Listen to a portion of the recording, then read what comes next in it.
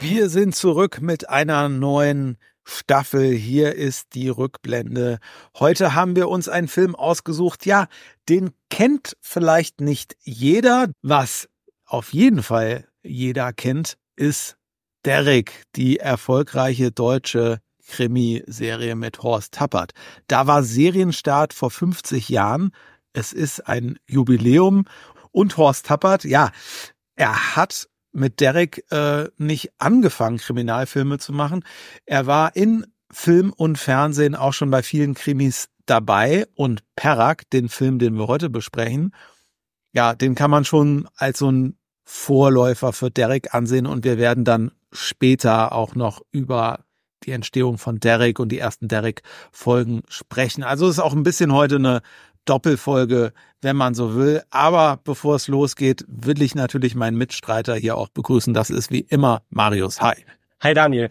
Ja, genau, du hast es schon angedeutet. Ich glaube, wir haben reichlich Stoff hier für unseren Staffelstart heute. Und bevor wir loslegen, vielleicht ganz kurzes Dankeschön auch ähm, für die Zuschriften, die uns aus der Hörerschaft äh, erreicht haben in der Pause, was uns jetzt auch nochmal motiviert hat, jetzt auch wieder weiter loszulegen äh, mit neuen Folgen. Also ganz lieben Dank dafür. Ja, dann würde ich sagen, starten wir doch direkt. Ähm, worum geht's in unserem heutigen Film Perak. Ähm, da wird ein Transvestit äh, namens Toni auf einer Müllhalde in Hamburg tot aufgefunden. Und der Kommissar Perak, das ist, wie schon gesagt, Horst Tappert, ähm, den führen die Ermittlungen ins Unterwelts- und Rotlichtmilieu, was allerdings ein Umfeld ist, in dem er sich als Beamter des Sittendezernats bestens auskennt. Und ja, so findet er auch schnell heraus, dass das Mordopfer Erpressungen im großen Stil betrieb, so dass es an Tatverdächtigen wahrlich nicht mangelt.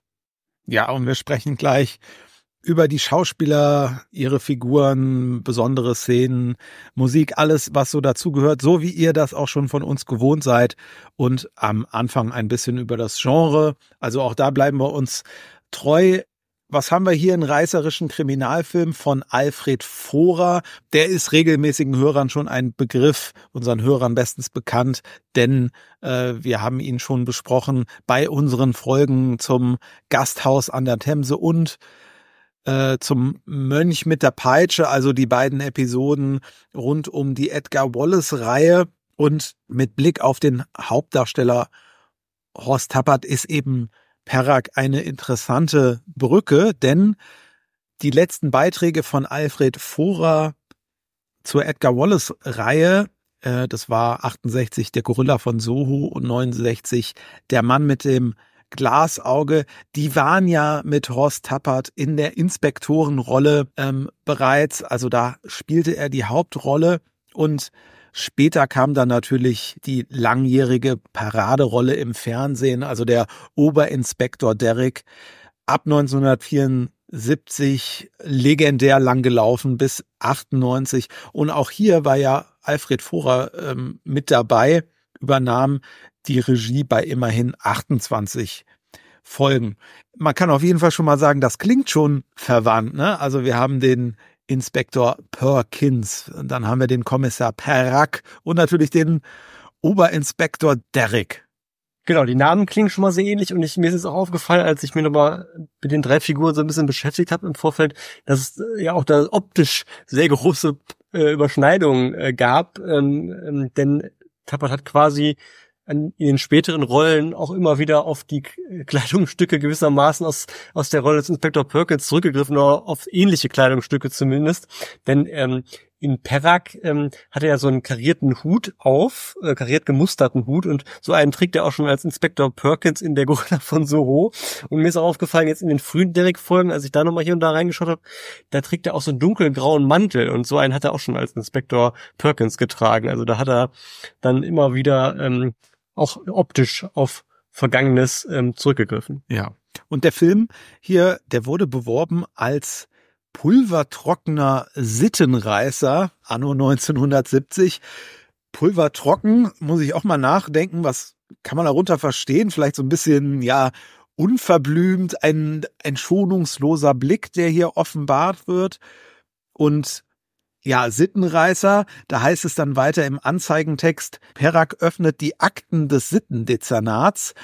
Also Tappert ist ja hier Kommissar eben dieser Hamburger Sitte und bekommt dann den Mordfall ja übertragen, weil er sich eben im Milieu auskennt. Und die Werbung hat hier so ein bisschen einen Hauch von dokumentarischen Anleihen versucht zu erzeugen. Ähm, im Gegensatz zu früheren Arbeiten vom Kollegen Jürgen Roland zum Beispiel, kann man das jetzt hier nicht ganz so seriös behaupten, was den Film selber betrifft. Ne? Roland hatte da ja wirklich immer so semi-dokumentarische Elemente äh, drin. Das haben wir hier vielleicht nicht so ganz, aber man kann sagen, es gibt schon zumindest authentische Elemente, also die äh, Travestie-Stars, die hier mit von der Partie äh, sind, das waren tatsächlich welche im, im Hamburger äh, Umfeld und äh, auch durchaus internationale Größen. Und wir haben natürlich hier auch im Handlungsort ähm, ja eine so eine Verwandtschaft zu diesem Kiez- und Crime-Film, wie sie äh, Jürgen Roland geprägt hatte äh, aber auch Rolf Olsen. Übrigens, parallel war im Kino das Stundenhotel von St. Pauli. Also die Filme sind quasi gegeneinander gelaufen und haben ja eben denselben Handlungsort. Ja, was natürlich auch auffällt in diesen Jahren, ähm, das war natürlich eine Zeit, ähm, wo die Sexualmoral in Deutschland in absolutem Wandel begriffen war ist hier gleich zu Filmbeginn ja auch belegt mit ähm, so einem Herrn, der da bei der Sitte einbestellt ist, äh, weil er pornografische Hefte mit sich führt und er dann sagt, ja, aber das kann ich doch in Dänemark überall kaufen. Also Pornografie war in Deutschland noch nicht freigegeben. Und äh, was hatten wir im Kino dieser Zeiten? Da gab es zuerst mal diese Welle von Aufklärungsfilmen. Äh, das ging schon ein bisschen früher los, 1968 mit diesen Oswald Kolle-Filmen ähm, hatten wir vor einiger Zeit ähm, auch erwähnt, als wir über Franz Josef Gottlieb ähm, sprachen, dem Regisseur vom Schwarzen Abt, der auch diesen Film machte, Oswald Kolle, das Wunder der Liebe, der unfassbar erfolgreich war, also sechs Millionen Besucher in Deutschland. Und dann ging das ja weiter, also da entstand dann so eine Sexfilmwelle. Ähm, viele wissen's, ne, diese Reportfilme, äh, was Eltern nicht für möglich halten, ebenfalls 1970 äh, dieser erste Teil Schulmädchenreport, sieben Millionen Besucher, also kann man sich heute kaum noch vorstellen. Ähm, sicherlich ein ganz eigenes äh, Thema wert, wie dieses Genre so aufkommen konnte. Jedenfalls, Alfred Vorer hat jetzt diese Sexwelle nicht ganz so plump bedient, aber auch in seiner Filmografie gibt's dann einfach einen spürbaren Einfluss, äh, wie bei fast allen kommerziellen Filmen dieser Zeit. Er hatte nämlich auch 1970 äh, zur Veröffentlichung gebracht, Das Gelbe Haus am Pinnersberg. Das ist so eine erotische Komödie über ein Hamburger Männerbo Männerbordell, was aber so parodistische Züge hat, sich dadurch vielleicht noch mal ein bisschen absetzt zu dem, ähm, zu diesen ganzen Reportfilmen. Und Perak ist eben dann auch so ein Vertreter eines Sex and Crime Films, der kombiniert natürlich so diese Blicke durchs Schlüsselloch dann mit äh, einer Kriminalgeschichte. Und insofern Blick durch Schlüsselloch wird er auch oft als Exploitation-Film gezählt, ne, weil da ja immer dieser Vorwurf dann mitschwingt, naja, die Milieuszenen, die werden so genüsslich inszeniert und es, gibt so eine Konzentration auf Schauwerte. Es ist so ein Bedienen einer Sensationslust. Das steckt hier auf jeden Fall auch mit drin. Aber wie wir noch äh, sehen werden, hat der Film auch noch einiges mehr zu bieten.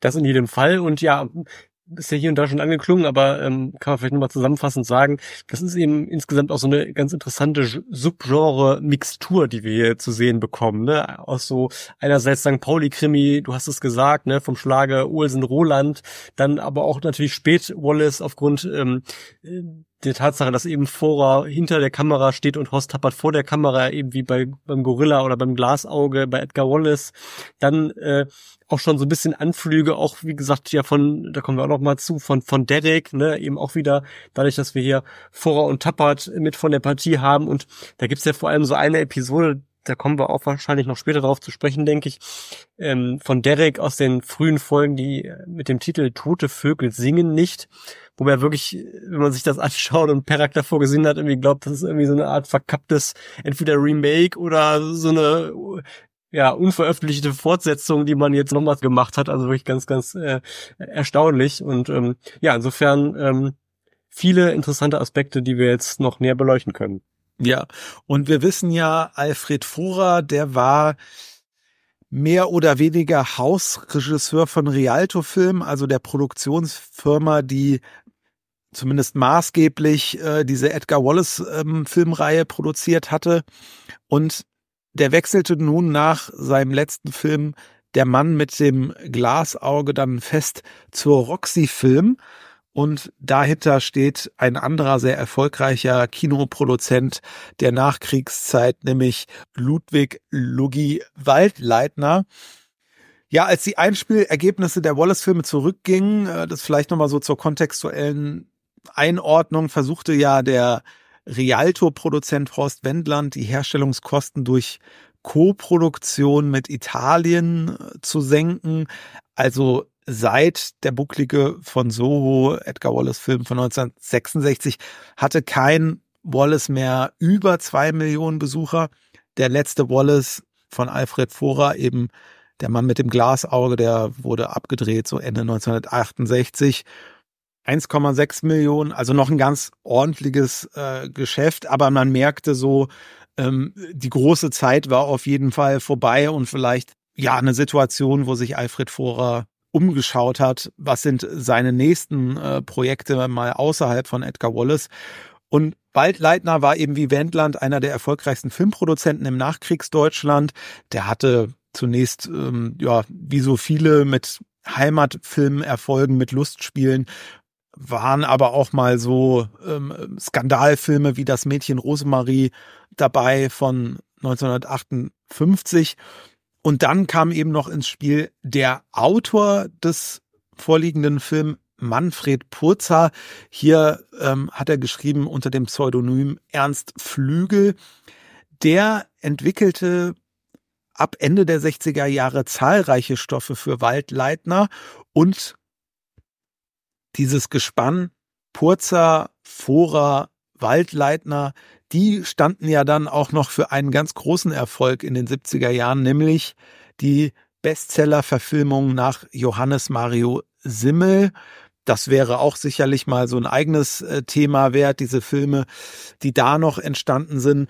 Ähm, des Weiteren dann das Trio verantwortlich für Sieben Tage Frist von 1969 ebenfalls mit Horst Tappert als Ermittler und auch bereits genannt eben das Gelbe Haus am Pinnersberg.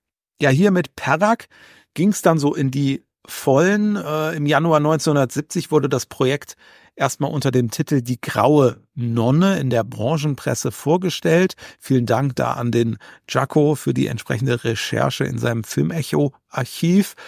Und zu den angekündigten Darstellern zu diesem Zeitpunkt gehörte noch Herbert Fleischmann, den äh, kennen wir aus so einem Film wie Zinksärge für die Goldjungen zum Beispiel. Das ist auch so sein Pauli Kids at Crime ähm, Film. Hier hat er dann letztlich doch nicht mitgewirkt, als es dann losging mit den Dreharbeiten. Das war vom 9. Februar bis zum 19. März 1970 in Hamburg und Umgebung. Ganz interessant. Gedreht wurde ja also im Winter 1970 und das war ein ganz besonderer Winter, nämlich der sogenannte Jahrhundertwinter. Ähm, es war unfassbar kalt und es gab viel Schneefall. Also man kann so nachlesen, am 10. Januar zum Beispiel, kurz vor Start der Dreharbeiten, da wurde zum ersten und bislang auch einzigen Mal ein kompletter Spieltag der Fußball-Bundesliga abgesagt. Die Rückrunde war generell ein absolutes Chaos. Es kam immer wieder zu Absagen Ähm, zwischenzeitlich gab es Überlegungen, die Saison abzubrechen, da man wegen der Weltmeisterschaft in Mexiko auch äh, nicht groß verlängern konnte. Und da mussten die Spielflächen eben oft mit Baggern und Traktoren freigeräumt werden. Und was ja jetzt mit Blick auf den Film interessant ist, es wurde unter anderem im Volksparkstadion äh, gedreht. Das ist das Stadion, was man hier sieht. Es ist nach heutigen Maßstäben kaum zu erkennen, äh, weil es natürlich so umgebaut ist, dass heutzutage äh, das Stadion natürlich ganz ein anderes ist. Aber es ist eben auch damals hier die Heimstätte vom HSV gewesen, wo man gedreht hat. Andere Drehorte, das ist ja gleich zu Beginn sehr gut erkennbar. Die Landungsbrücken, äh, also St. Pauli Hafengebiet und ganz authentisch das Polizeipräsidium, in das Horst Tappert reinläuft. Das war damals zu dem Zeitpunkt also das tatsächliche Polizeipräsidium am Berliner Tor. Die Atelieraufnahmen, die fanden im Studio Bendestorf statt. Das ist ja auch ein ganz interessantes Studio. Man hat auch gesagt Heide Hollywood. Ja, warum? Studios liegen oft so im Randbezirk einer Stadt, aber das ist doch noch ein ganzes Stück weiter draußen. Es ist nämlich tatsächlich in der Heide, also denk so eine Autostunde von Hamburg entfernt ähm, vielleicht und Filmstudios, die in einer absolut dörflichen Gegend ähm, errichtet worden sind. Ähm, also das war ja in der Nachkriegszeit dann manchmal ein bisschen abenteuerlich, wie auch so die äh, ersten neuen Filmstudios entstanden sind. Ähm, das Studio Bentesdorf wurde 1947 gegründet von äh, Rolf Meyer, der damals noch firmierte unter Junge Filmunion. Da sind Filme entstanden wie Die Sünderin mit der Knef, aber auch zum Beispiel Die Bande des Schreckens, womit wir wieder bei einem Edgar Wallace-Film ähm, sind und dann eben verschiedene Roxy-Filme dieser Jahre. Es wurde zwischenzeitlich sogar für internationale Co-Produktionen genutzt. Also Heide Hollywood kann man dann tatsächlich sagen. Später ähm, verfiel die Bedeutung so nach und nach, gab dann kleinere Produktionen und schließlich ähm, äh, ja, kann man auch sagen, verfiel das ganze Gelände bis hin zu einem Lost Place. Also ich habe das vor einigen Jahren mal äh, besucht, als alle Hallen dieses Geländes noch standen. Und äh, du kannst dir das nicht vorstellen. Äh, das, das, äh, wenn man es nicht selber gesehen hat, ähm, schwer zu beschreiben. Also ein Lost Place im wahrsten Sinne des Wortes. Ähm, ich bin da reingelaufen, sogar Aktenordner auf den Tischen. Es sah aus, als ähm, hat man von einer Sekunde auf die andere aufgrund irgendeiner ähm, Seuche äh, das Gelände verlassen. Ähm, also un unfassbar. Alles ähm, in, in sehr schlechtem Zustand. Äh, du läufst durch und siehst, irgendwo liegen Filmrollen, irgendwo liegt Korrespondenz mit dem ZDF noch rum, ähm, eingeschlagene Fenster, ähm, in der Kantine lagen, äh, standen noch die Teller auf den Tischen und alles verstaubt und äh, so, als wäre seit Jahren keiner mehr da gewesen. Man hat jetzt mittlerweile einen Großteil des Geländes abgerissen und neu bebaut, aber das Produzentenkino auf dem Gelände. Das ist erhalten und da ist mittlerweile auch ein kleines Filmmuseum, was durch einen Verein äh, betrieben wird. Da war ich jetzt vor kurzem nochmal, äh, kann man sich also ganz nett anschauen, was es, was da erhalten wurde. Ähm, Produktionstechnik, Plakate, ähm, teilweise alte ähm, Drehbücher. Also ähm, wenn man mal in der Gegend ist, äh, vorbeischauen damit vielleicht der, der kleine Blick abgeschlossen. Wo hat man äh, gedreht? Innen und Außen. Wie ging es dann weiter? Also die Theaterbesitzer, die meldeten ein mittelmäßiges bis gutes Geschäft. Genauere Zahlen haben wir leider nicht. Ähm, und ich habe hier mal eine Kritik rausgesucht. Das ist in dem Fall von der Honnefer Volkszeitung vom 28.08.1970. Da heißt es, Eindeutig zweideutige Lokale sind die Schauplätze einer raffiniert geplanten Folge von Verbrechen, dokumentarisches Material, ja, da wissen wir, stimmt nicht so ganz, und filmisch überhöhte Satire verschränken sich zu einem schonungslosen Spiegelbild der Gegenwart. Ja, auch schön, schön markig, markiges Fazit mit diesem schonungslosen Spiegelbild der Gegenwart. Könnte eigentlich auch genauso aus so einem Trailer irgendwie entnommen sein, ne, von so einem äh, Kommentator aus dem Off. Äh, sehr schön. Ähm, ja, kommen wir mal vielleicht dann zu den Personen vor und hinter der Kamera. Ne? Ähm, Alfred Vorer haben wir jetzt eingangs äh, schon kurz gesprochen, den haben wir auch immer schon mal thematisiert. Ähm, kann man vielleicht äh, nochmal sagen, ne? Ähm, Gerade Edgar Wallace aufgegeben und vor den Simmel-Verfilmungen der 70er Jahre irgendwo so dazwischen ähm, befinden wir uns hier in seiner Filmografie, also so eine Art Übergangsphase, bevor es dann ja auch später zum Fernsehen, unter anderem zu Derek, ähm, ging.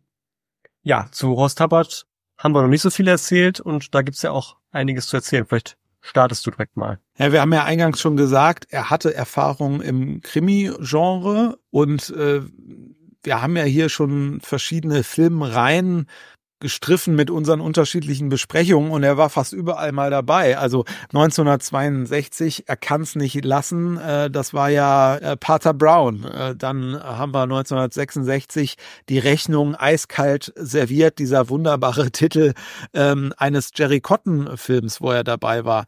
Sein erster Edgar Wallace war 68 der Hund von Blackwood Castle und dann folgten eben der Gorilla von Soho und der Mann mit dem Glasauge, haben wir eben erwähnt, weil er da dann den Ermittler gibt. Er hat die Seiten getauscht. Im Hund von Blackwood Castle war er noch, ja, eine nicht so vertrauenswürdige Person.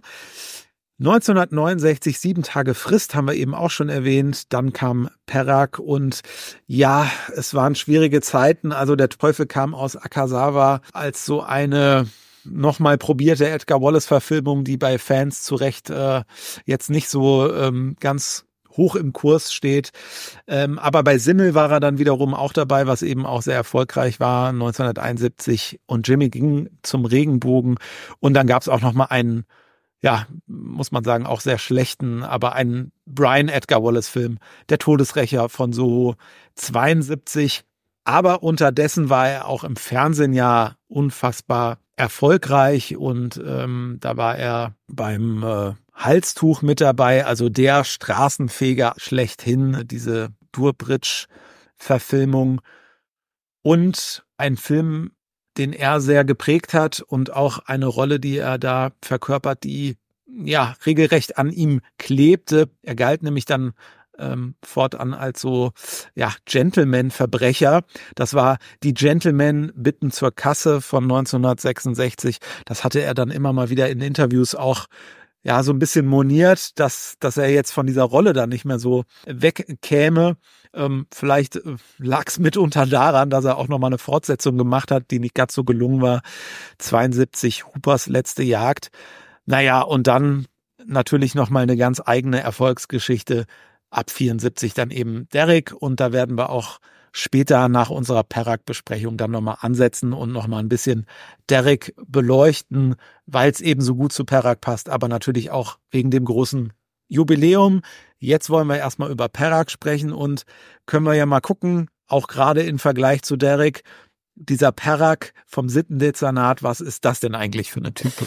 Ja, eine ganz spezielle kann man sagen. Also auf jeden Fall sehr selbstbewusst, ein selbstbewusster Ermittler, der absolut, das merkt auch im Film, auch austeilen kann, was man vielleicht, wenn man jetzt so den äh, späten Derek Horst Tappert so vor Augen hat, einen dann vielleicht auch überrascht, wenn man den Horst Tappert hier so sieht. Derjenige, der vielleicht jetzt auch mit den Edgar Wallace Filmen sozialisiert ist und dann eben auch seine Perkins Interpretation kennt, der ist da vielleicht jetzt weniger ähm, überrascht von. Ähm, ja, er ist auch um einen saloppen Spruch, äh, gerade jetzt auch bei den äh, Leuten aus dem Unterwelts- und Rotlichtsmilieu nicht verlegen. Ne? Äh, die packt er da jetzt auch ähm, kommunikativ nicht unbedingt mit Samthandschuhen an. Ähm, er hat auf jeden Fall einen Sohn. Ähm, was mir aufgefallen ist, ist, ist ähm, unklar, was mit der Mutter äh, des Sohnes ist. Ne, die wohnen zusammen, aber man weiß nicht, sind die irgendwie getrennt oder ist die Mutter verstorben? Da wird irgendwie gar kein Wort zu verloren zu dieser ähm, Situation. Ähm, ja, und diese Vater-Sohn-Beziehung, die ist halt auch so ein bisschen dazu da, um so humoristische Auflockerung zu betreiben, die man ja damals noch auch ähm, auch wegen Edgar Wallace sehr mit dem Krimi-Genre, glaube ich, in Deutschland auch verbunden hat. Ne? Ähm, so ein bisschen Humor muss dann auch sein.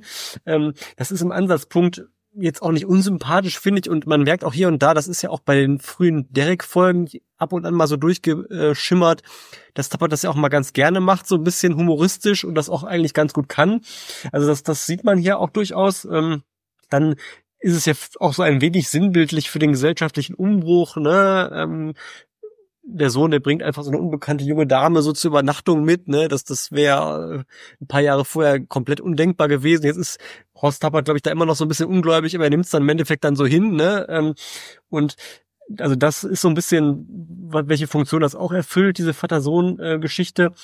Ja, und jetzt mal vielleicht zum Humor muss ich jetzt sagen, habe ich ja gerade auch schon ansatzweise, es ist im Ansatz sympathisch, aber es zündet jetzt auch längst nicht jeder Gag. Also da kommt, gibt's ja auch zum Schluss dann ja nochmal äh, so ein Schlussgag, wo dann der Sohn auf immer so eine Verlobte mitbringt. Ja, das ist dann so ein bisschen, ja, wahrscheinlich so die, die, die, die Versöhnung mit dem konservativen Publikum oder ich weiß es nicht. Also jedenfalls so richtig, äh, ja, laut gelacht habe ich jetzt nicht, sage ich jetzt mal so, als ich da vom Fernseher saß. Also es geht, geht jetzt nicht alles so hundertprozentig auf. Aber äh, wie gesagt, im Ansatz durchaus nicht unsympathisch.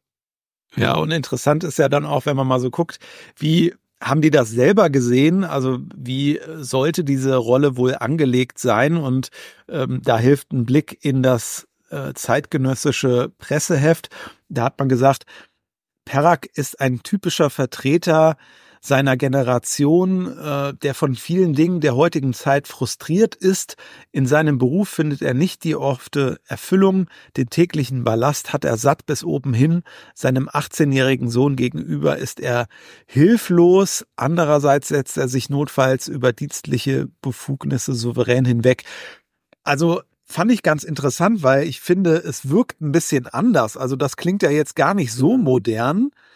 Ähm, ich finde, dieser Perak, den wir im Film sehen, der ist doch eigentlich äh, für diese Zeit ganz modern unterwegs. Also es gibt zwar so ein bisschen diesen Generationenkonflikt mit dem Sohn, aber der wird ja eigentlich sehr humoristisch, wie du auch schon sagst, äh, miteinander verhandelt. Äh, ne, es gibt die, am Anfang diesen Dialog, wo, wo der alte Perak quasi zum Jungen sagt, äh, ich höre immer nur Scheiße, was willst du mal machen, wenn du wirklich in der Scheiße sitzt? Also er ermahnt den Sohn mal, der natürlich auch ähm, so eine bemalte Ente fährt. Ne? Dadurch wird das auch nochmal so deutlich gemacht, wie ähm, unterschiedlich ähm, die Lebensentwürfe da gerade so sind. Er ist Student, äh, aufmüpfig gegenüber Obrigkeiten sind sie letztlich beide, ähm, aber sie akzeptieren und tolerieren sich ja, ja. sehr stark. Also äh, der Sohn äh, kümmert sich ja da auch um den Geburtstag, den der dann äh, zwischenzeitlich äh, da mal in die Ermittlungen fällt ähm, von dem Perak. Also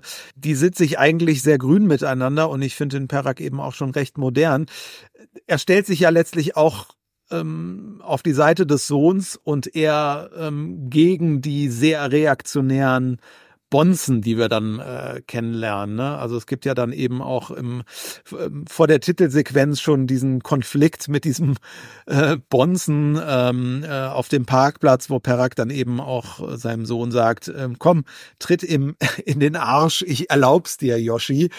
Also man merkt auch, ähm, wenn er da im Büro unterwegs ist und äh, irgendwelche vorgeladenen äh, Leute seiner in Anführungszeichen Kundschaft äh, da sind, da spricht er irgendwie ja schon so ein bisschen auch auf Augenhöhe, hat er auch ein gewisses Wissen, ne? also die Kollegen sind durchaus drauf angewiesen, so im Vorbeigehen wird dann irgendwie äh, noch schnell so geklärt, das ist eine falsche Anschuldigung, Toilettensuse kenne ich schon und so und die äh, Kollegen verzweifeln aber ohne ihn darüber. Ne? Ja, und er hat natürlich auch gar keine Probleme intern anzuecken, äh, sieht man dann zum Beispiel, als er dem, äh, dem Doktor da so ein bisschen den Leviten liest, der irgendwie nicht schaltet, dass es sich äh, da um keine Dame im klassischen Sinne ähm, handelt, die auf dem Schrottplatz liegt, wo er dann sagt, äh, wo haben Sie eigentlich studiert, Doktor? Ja, also laut Presseheft, ähm, um darauf nochmal zurückzukommen, Figur, die keiner Romanvorlage, sondern dem tatsächlichen Alltagsleben eines leitenden Beamten des Sittendezernats entspricht, Klammer auf, angeblich, Klammer zu. Ja.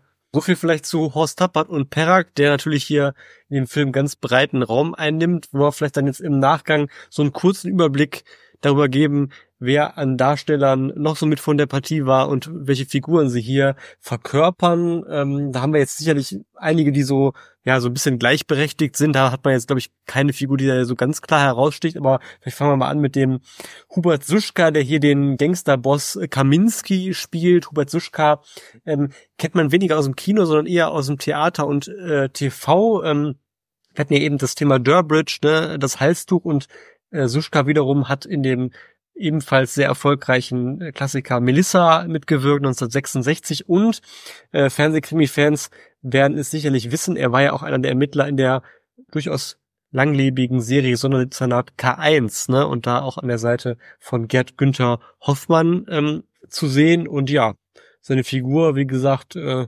knallharter Gangsterboss, ne, offiziell Schrotthändler, aber ja, hat dann auch so das eine oder andere, was er so äh, tagsüber so treibt und ja, ist auch nicht gerade äh, zimperlich, so im Umgang mit den Untergebenen. Ne? Muss ich schmunzeln, äh, mein Chef trägt nämlich denselben äh, Nachnamen, aber ja, so Aktionen wie, äh, dass irgendwie der Druckluftstampfer da als Drohmittel äh, eingesetzt wird, das gab's bei mir im Büro zum Glück noch nicht. Ja, Gott sei Dank. ähm, ja, dann, ähm, wenn wir jetzt zu den weiteren Darstellern schauen, dann kommen wir relativ schnell auch zu Erika Ploir, ähm, die ja auch hier keine unwichtige Rolle ähm, einnimmt. Ähm, was ich jetzt an ihr persönlich ähm, sehr interessant finde, dass sie ja auch auf ganz vielen, äh, in ganz vielen Bereichen unterwegs ist und war. Ne? Sie ist ja auch als Sängerin unterwegs gewesen, als Schriftstellerin, ähm, ist ja auch, glaube ich, politisch relativ aktiv, also sehr interessante Persönlichkeit.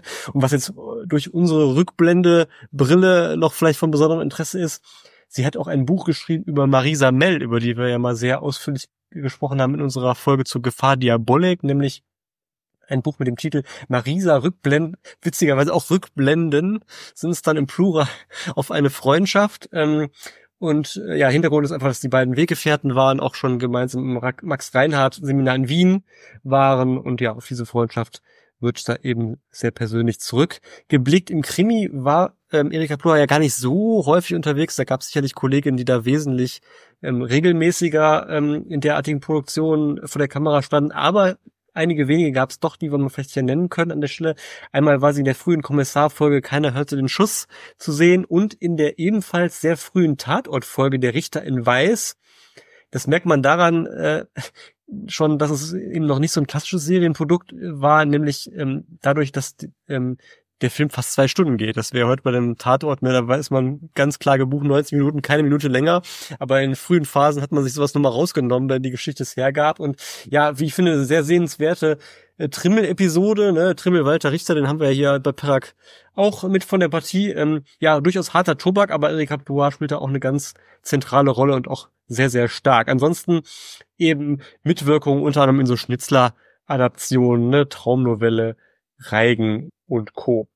Ja, und du hast ja schon gesagt, sie ist ähm, sehr umtriebig, auch immer noch. Und insofern konnten wir sie auch ja ähm, kurz zu Perak befragen ähm, angesichts ihrer vielen Projekte auch seit 1970 kann sie total verständlicherweise natürlich sich jetzt auch nicht mehr an so viele Details der Dreharbeiten ähm, erinnern, ähm, hat aber nochmal gesagt, dass sie also Alfred Vorer als sehr liebenswürdigen Regisseur in Erinnerung hat dass sie ähm, ja sich gefreut hat, ob dieses Ausflugs in das äh, Krimi-Genre eben und dass sie eine große Liebe für die Stadt Hamburg äh, hat. Äh, sie war dann später, äh, hast ja gesagt, ähm, sie hat auch viel geschrieben äh, und ihr Verlag war eben Hoffmann und Kampe hier in äh, Hamburg über viele Jahre war sie immer mal wieder da und äh, trotzdem es ja hier ein sehr dreckiges Hamburg ist in diesem ähm, Film, äh, hat sie es vielleicht ja bei Perak dann irgendwo am Rande der Dreharbeiten lieben gelernt. Ja, sehr schön.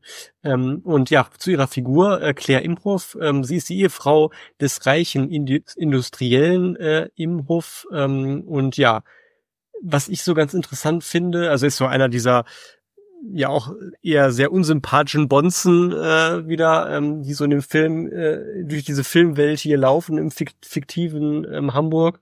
Und ähm, was ganz interessant ist ja auch, dass sie ihrem Ehemann ja auch dann ähm, im Verlauf des Films einmal ja gegenüber Perak so doch relativ deftig in den Rücken fällt. Also sieht man auch, da sind die, die ehelichen Bande auch, äh, ja, es ist nicht mehr allzu weit hin mit, mit den ehelichen Banden so. Und ähm, ja, man merkt ja auch, ähm, kommen wir vielleicht nochmal später zu, sie hat ja auch dann durchaus so das eine oder andere Geheimnis, was sie so mit durch ihr Leben trägt. Ja, und grundsätzlich so der Figurentyp ähm, ist einer, den man dann auch äh, später in den Der Derricks gerne mal sieht. Also so reiche Verhältnisse, äh, dementsprechend Hauptberuf Ehefrau, ja. ähm, aber für den Gatten so nichts mehr übrig. Ne? Ja, ja, ja, absolut. Auch ähm, ich glaube auch wieder in der schon angesprochenen Folge Tote Vögel singen nicht. Da gibt's glaube ich auch wieder so eine Konstruktion, aber natürlich auch in diversen äh, anderen Folgen. Da hast du völlig recht. Ja, kommen wir zu einer weiteren ähm, sehr profilierten Darstellerin hier in diesem Film, über die wir auch glaube ich auch noch nicht gesprochen haben, nämlich Judy Winter. Und da kann man glaube ich sagen, sie ist aus dem Krimi der 70er Jahre wirklich nicht wegzudenken. Also es ist wirklich, ja, äh, nahezu beispiellos, möchte ich fast sagen. Also im Kino war sie zum Beispiel in zwei Simmel-Verfilmungen ähm, mit dabei, einmal im schon äh, genannten und Jimmy ging zum Regenbogen. Da war sie interessanterweise auch nochmal in einer TV-Neuadaption äh, zu sehen, 2008. Also ist da den ähm, Beitrag dann auch treu geblieben und dann auch noch in gleichen Jahr in Liebe ist nur ein Wort und ja im Fernsehen war es dann nochmal deutlicher. Da war sie im Kommissar, in drei Derek-Folgen, im berühmt-berüchtigten Tatort Reifezeugnis ähm, mit Nastasia Kinstin natürlich, in der Alte, im Sonderdezernat, ne, mit Hubert Suschka eben schon äh, erwähnt, in drei Folgen zu sehen. Später auch ein Fall für zwei und jetzt wieder Brücke zu Edgar Wallace-Film. Da war doch was, ja, sie hat dann auch nochmal in der Fortsetzung der Wallace-Parodie der Wichser, nämlich Neues vom Wichser mitgespielt und ja auch da einen sehr denkwürdigen Part gehabt, ne, als Schwester Lucifer und ja, ist auch bis heute bestens im Geschäft, äh, trotz ähm, nicht mehr ganz, ganz jungen Alters, ähm, ist sie zum Beispiel in der seit 2016 beliebten TV-Reihe Familie Bundschuh von und mit Andreas Sawatzki zu sehen.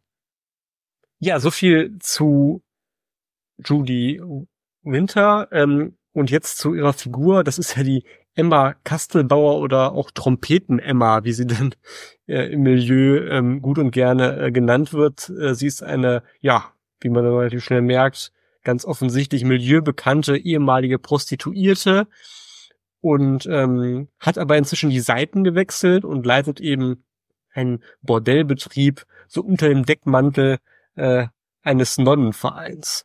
Ja, also wirklich irgendwie auch ganz witzig und äh, Judy Winter bleibt natürlich einerseits wegen diesem äh, fantastischen Rollennamen im Gedächtnis. Trompeten Emma ist ja äh, ganz fantastisch, aber auch unglaublich toll geschauspielert, ne? Das muss man ja, auch mal sagen. Also definitiv. Also im Prinzip immer wieder andere Emotionen, die sie ähm, aufbringt. Äh, in der einen Minute ähm, wirkt sie völlig verängstigt, äh, weil sie da von dem Kaminski bedroht wird. Ähm, dann äh, hat sie plötzlich wieder Oberwasser und ist ganz überheblich, äh, nachdem sie dann äh, Schutz erfährt von einer anderen Figur, die wir gleich ähm, erwähnen werden. Äh, dann ist sie mal amüsiert, dann ist sie wieder ganz verunsichert. Also äh, ich finde, sie fällt hier sehr, sehr positiv auf auch.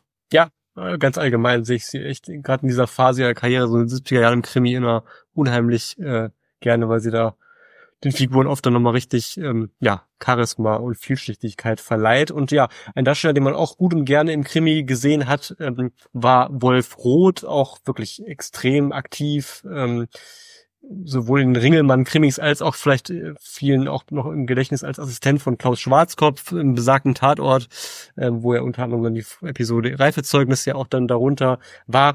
Aber was ich auch ganz interessant fand, ich habe ihn mal zufällig auch in der US-Serie Quincy gesehen. Das sind ja dann so Momente, wo man so denkt, so guckt man dann so ein US-Krimi und, und erwartet ja dann keinen deutschen Darsteller, denkt so, heute den kennst du noch irgendwo her.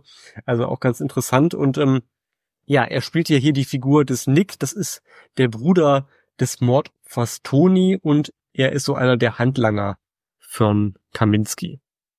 Ja, man könnte so sagen, unter den Durchtriebenen vielleicht noch äh, derjenige mit et etwas Restgewissen, das wird so an der einen oder anderen Stelle. Genau, deutlich. er will ja auch dann durchaus äh, rausfinden, wer jetzt hinter dem, dem Mord an seinem Bruder steckt und hat ja irgendwie noch nachvollziehbare äh, Motive ähm, bei allem.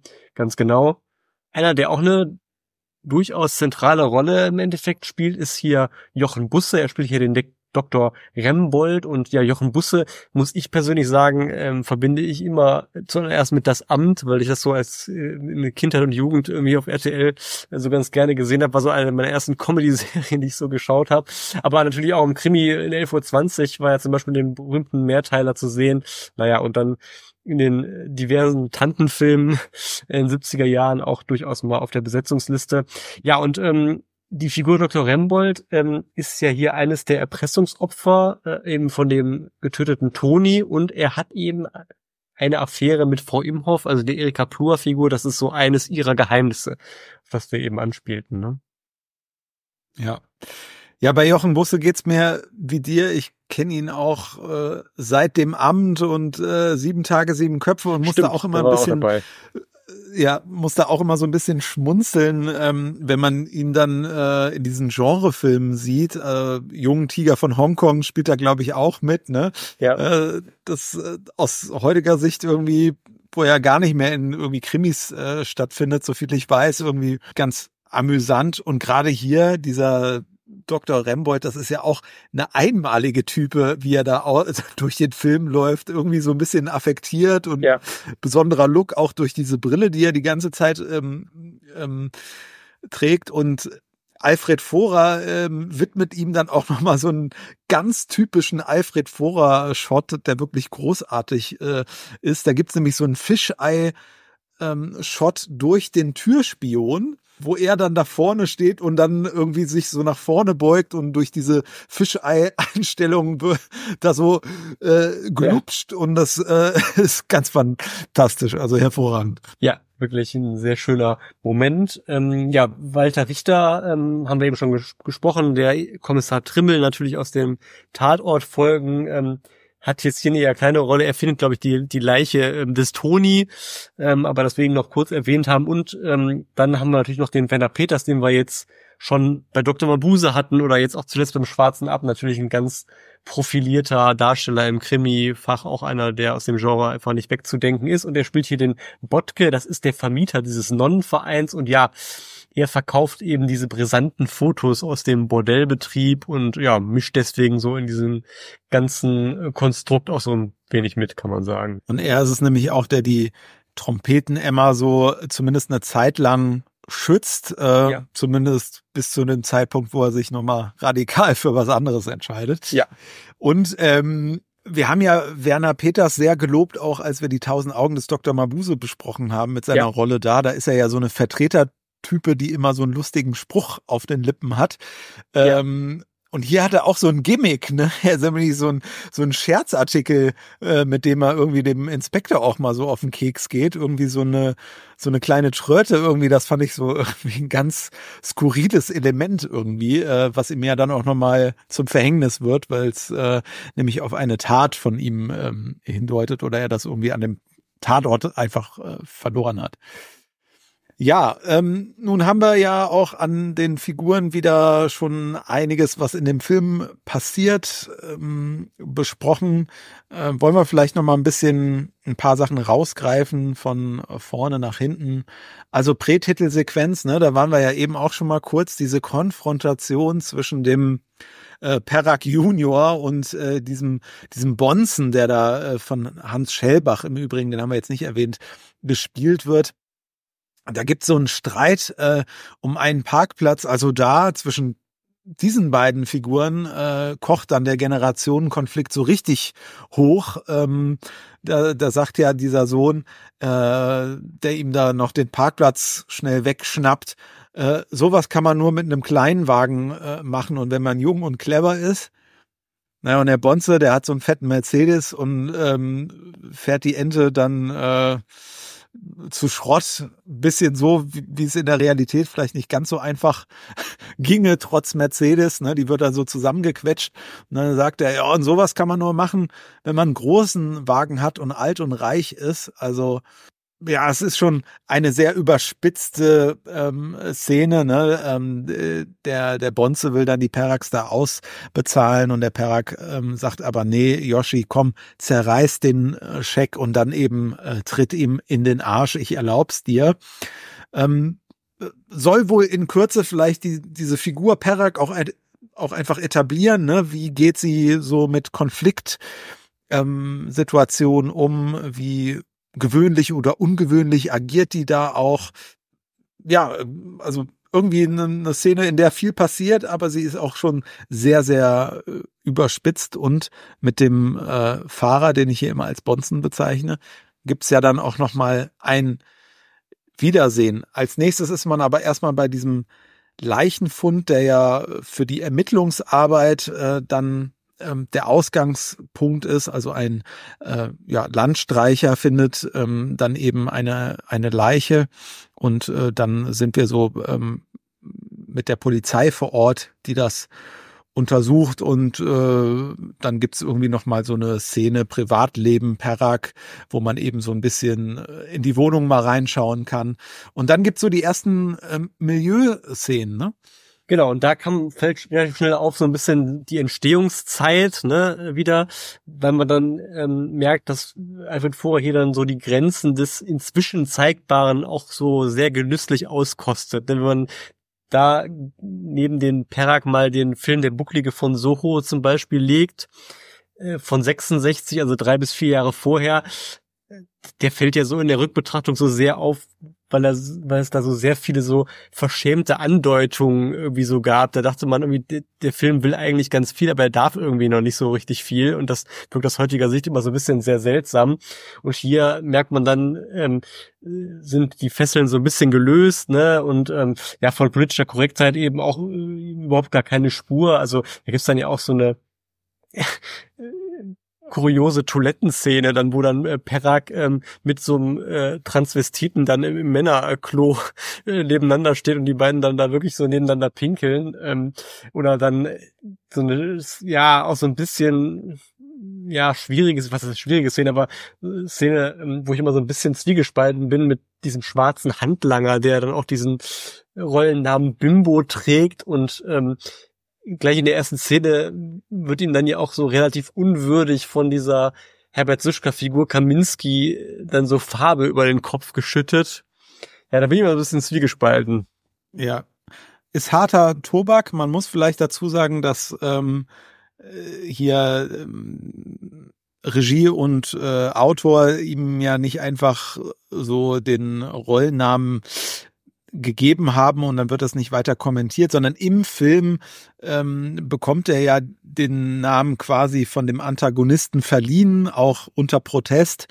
Und äh, als er dann mit diesen Farben übergossen wird, äh, sind das ja ausgerechnet drei verschiedene Farben, schwarz, rot und gelb. Also es hat dieses äh, bundesdeutsche Schwarz-Rot-Gold dann äh, in der Gesamtoptik. Und äh, also das finde ich äh, weist so ein bisschen darauf hin, dass Fora das auch sehr bewusst gemacht hat äh, und sich da jetzt auch dem reinen Pulp so ein bisschen entziehen wollte und da so ein äh, Touch Gesellschaftskritik vielleicht auch mitschwingt in diesem Unterhaltungsfilm. Ja, das kann man sicherlich so sehen und man muss ja auch sagen, so ähm, was mich dann auch mal ein bisschen so versöhnlich stimmt äh, an der Stelle ist, dass er sich ja dann am Ende ja nochmal so äh, rächen darf, ne, ähm, dann für die für das Unheim, was ihm dann so angetan wird und äh, das kaschiert das Ganze ja dann auch nochmal so ein wenig. Ja, und äh, wie du sagst, also Fora nimmt sich da äh, gerne die Zeit, auch ordentlich äh, die Travestie-Show abzufilmen. Ne? Ich glaube, das läuft äh, anderthalb ja. Minuten. Und ähm, hat er eben schon mal gesagt, äh, und ich habe es auch ein bisschen recherchiert, also es waren tatsächlich ähm, äh, bekannte Travestie-Stars.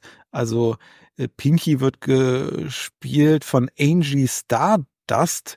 Das ist eine transsexuelle afroamerikanische Entertainerin, die schon äh, wohl so auch zur internationalen Travestie-Prominenz äh, zählte. Hm, Finde das ganz interessant. Äh, also in, hier am Spielbudenplatz in Hamburg äh, gibt's noch einen Nachtclub, der Angies heißt und der geht wohl auf sie zurück. Und ähm, äh, eine andere ist Ramonita Vargas, die spielt Cosi und die ist auch schon zu sehen in Polizeirevier Davidswache. Ja, und dann ähm, kommt es ja auch irgendwann dazu, dass dieser Nonnenverein Helfende Hände äh, in die Handlung sozusagen integriert wird. Äh, der Verein, der eben von der Judy äh, Winter Figur Trompeten Emma geführt wird. Und ähm, ja, wenn man dazu hört, Nonnenverein Helfende Hände als Deckmantel für einen Bordellbetrieb, da habe ich auch so direkt äh, gedacht, Assoziation, ja, also spät, spät Wallace lässt schön grüßen. Das hätte man sich auch äh, wunderbar in so einem Wallace ab 768 irgendwie vorstellen können. Ne? Ja. Ja, und das ist natürlich wunderbar plakativ einfach, ne, das äh, als Nonnenverein getarnte Bordell. Ähm, und da geht's ja auch sehr spicy zu, ne? Also in äh, äh, der der Perak macht ja dann mal so verschiedene Türen auf und äh, hinter der ersten Tür ähm, äh, verbirgt sich dann so eine psychedelische Sexparty. Im zweiten Zimmer sitzt irgendwie so ganz skurril so ein nacktes Paar auf einem Schaukelpferd. Ähm, und dann gibt's auch noch das SM-Zimmer, wo ähm, Perak da nur äh, kommentiert, Verzeihung, ich wollte die Andacht nicht stören. Und äh, ja, da äh, kann man sich äh, natürlich denken, dass ähm, der Alfred da auch einfach einen Spaß hatte, sich dann da äh, dem zu widmen, was er da irgendwie äh, hinter diesen Türen dann da einmal so auflaufen lassen kann. Und es gibt ja noch ein Zimmer, ne? nämlich ein Spiegelzimmer. Und äh, das ist tatsächlich auch als Handlungsort dann nochmal sehr relevant in der Folge. Genau, mit so Spiegelzimmern, ne, das, da hat sich äh, der, oder Spiegelzimmer wurde ja in Filmen immer mal wieder eingesetzt. Wir hatten es ja auch schon bei der, bei der Todeskralle, ne, Bruce Lee, da hatten wir auch schon mal drüber gesprochen, ne, wie das auch so im Genrefilm, ähm, ob es jetzt ähm, bei Orson Welles ähm, in die Lady von Shanghai schon war oder eben dann im bei der Todeskralle. Es wurde immer mal wieder gerne eingesetzt und auch hier in etwas anderer Form, ja dann auch mal als Schauplatz für einen ja schön schaurigen Mord, kann man sagen. Genau, da gibt's den schaurigen Mord, dann gibt's noch mal ganz viel Action natürlich rund um äh, das Hamburger Hafengebiet, ne, äh, Verfolgungsjagden äh, und dergleichen. Äh, übrigens auch einen kleinen Cameo-Auftritt von Alfred Vorer, den hat man ja oft in den Edgar Wallace-Filmen gehört. Hier sieht man ihn auch mal, der kommandiert da irgendwie so einen Ladekran am Hafen, ähm, kommt so eine Fracht an, ausgerechnet aus London, also äh, vielleicht auch so eine kleine Referenz an äh, die Handlungsorte der zurückliegenden Jahre.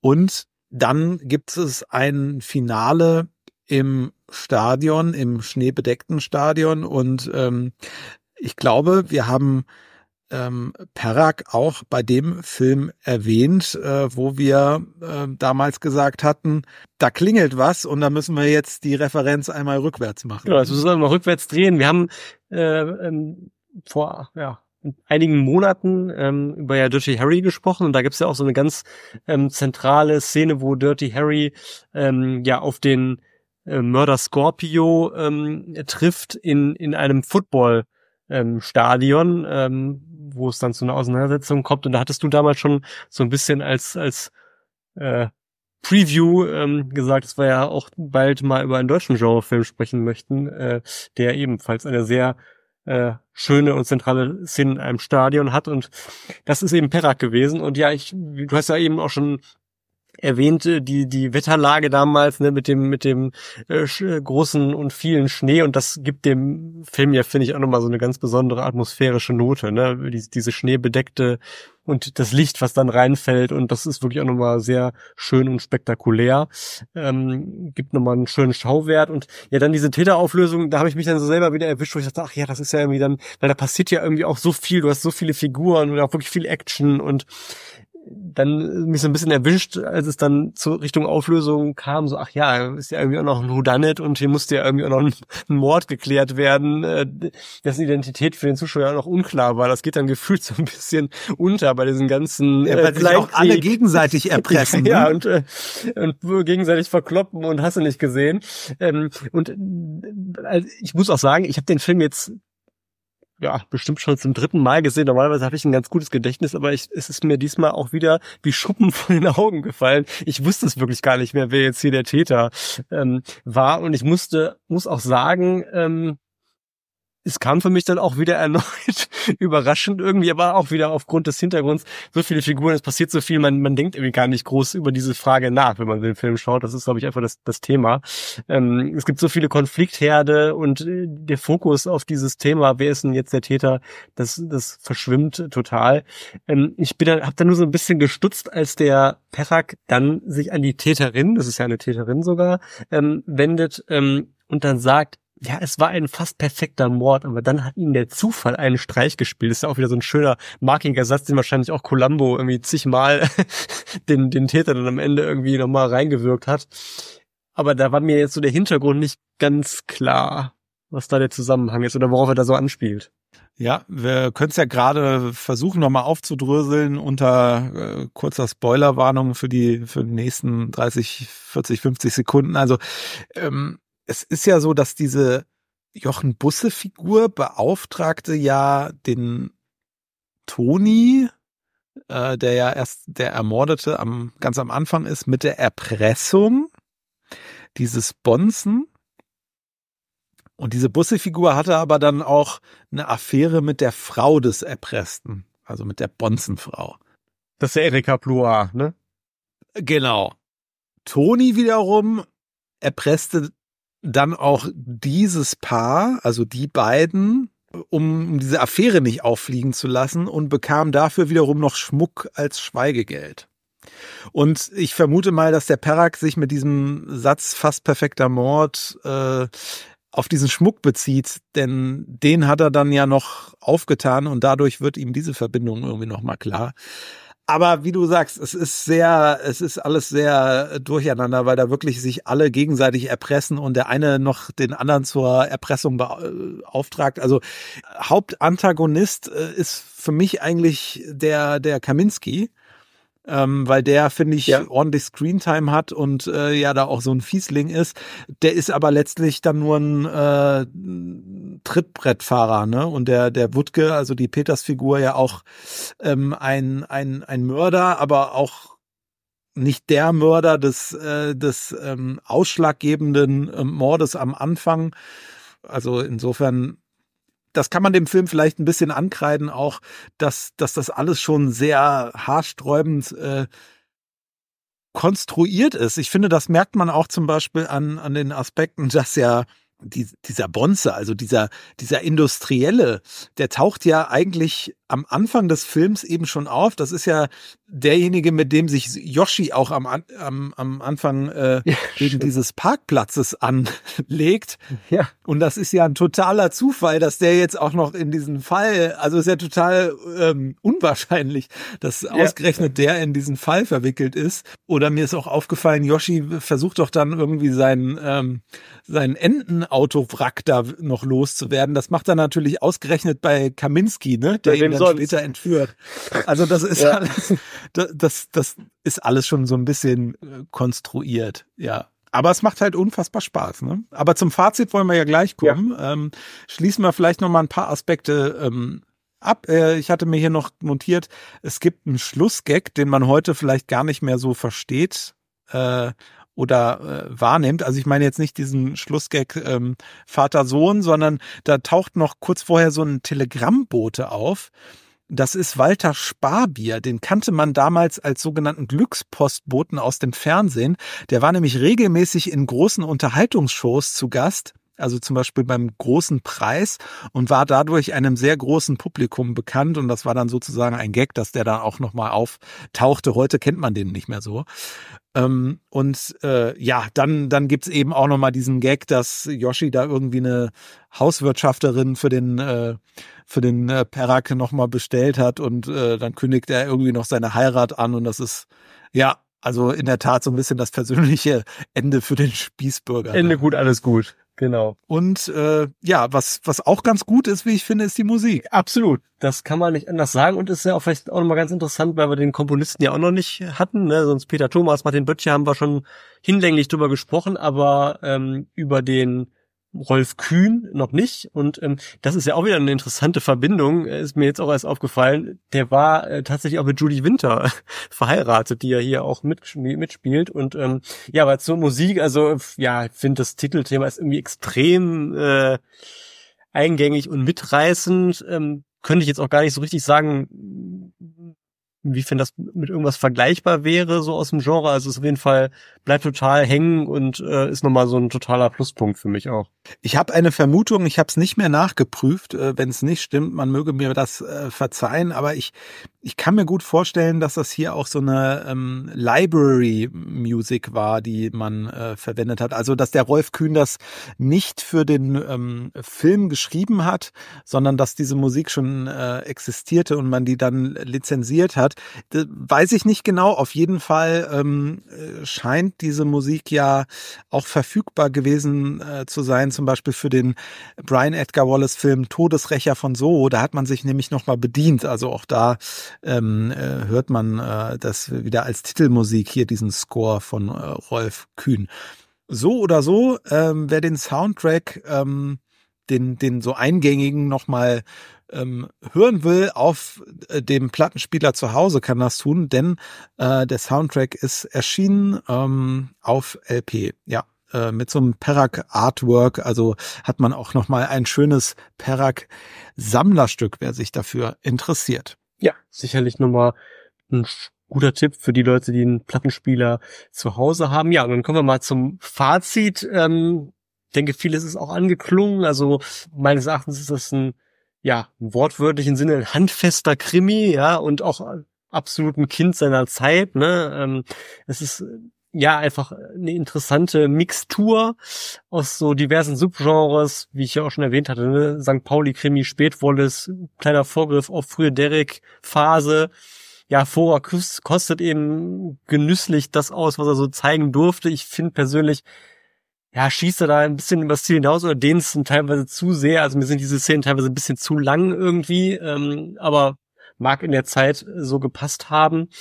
Ähm, ja, auch der Humor ist eben hier und da so ein bisschen aufgesetzt. Da zünden längst nicht alle Gags, aber summa summarum ist der Film einfach total unterhaltsam und eben aus den genannten Gründen, weil er eben so viele Subgenres mixt, auf seine Art auch irgendwo so ein Unikat. Also ich könnte jetzt nicht sagen, also er setzt sich aus vielen Einzelelementen zusammen, man sagt, das ist ein bisschen Wallace, ein bisschen St. Pauli-Krimi, aber ich könnte jetzt keinen Film nennen, wo ich sage, der ist jetzt wirklich eins zu eins vergleichbar damit, abgesehen von eben jener genannten Derek-Episode, die ja da sehr anstößt. Aber so aus der Filmzeit, so um 1970 rum, ist es für mich schon so ein ja, Unikat irgendwo. Ja, weil der auch nochmal einen ganz anderen Vibe hat als diese anderen Kiez-Filme, ja. die es dann so gab, ne? Und äh, ja, anders als Wallace sowieso, also waren es da noch die Adligen, die sich dann mitunter auch als Gangster entpuppten, dann äh, sind es jetzt hier die deutschen Industriellen, die sich als Perverse entpuppen und äh, dadurch eben äh, erpressbar werden. Und ja, rund um diese ganzen Gangster und äh, Gangster äh, Gangsterbräute irgendwie eine totale Spielfreude zu sehen. Äh, ich finde, das macht den Film ähm, aus. Ähm, Hubert Suschka, äh, super. Ja. Äh, Judy Winter haben wir eben schon äh, gelobt. Ähm, ja, auch was jetzt Hamburg betrifft so ein total schonungslos dreckiges Bild von Hamburg, natürlich auch bedingt durch das Wetter, aber natürlich auch durch die Schauplätze hier wie ähm, Schrottplatz, Müllkippe, ähm, also auch dadurch nochmal anders als diese etwas kitschigeren äh, St. Pauli-Krimis. Und wir haben hier einfach deutlich mehr Sleaze drin, als das dann bei den TV-Krimis möglich war. Ne? Also hier kann man ähm, den Bogen eben noch mal etwas mehr überspannen. Ähm, man kann mehr zeigen, als es im Fernsehen möglich war. Gleichzeitig ist mehr möglich, als das noch vor paar Jahren im Kino war. Ne, das wird hier eben nochmal ausgenutzt und das macht das, finde ich, zu so einem ja kleinen Juwel am Ende der Kriminalfilm-Ära im Kino. Äh, und dadurch eben verständlicherweise auch so ein ja, Geheimtipp und auch, glaube ich, so ein, so ein ja, heimlicher Fanfavorit äh, unter Eingeweihten. Natürlich muss man sagen, und das muss man vielleicht ein bisschen relativieren, dann äh, konstruierte Story, haben wir gesagt, ja, auf jeden Fall. Und insgesamt ist die Produktion jetzt auch nicht so edel in ihren ja.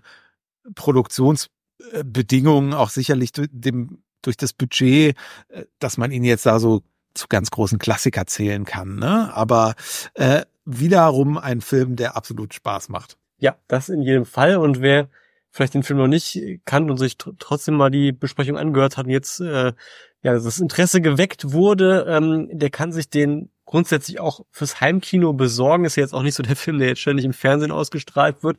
Er ist zweimal auf DVD erschienen im vergangenen Jahrzehnt, relativ dicht hintereinander. Einmal bei PDAX und dann bei Dynasty, Fernsehjuwelen und Intergroove. Und ähm, das Bild ist auch, also ich habe diese zweite Variante ähm, von Dynasty Fernsehjuwelen Intergroove.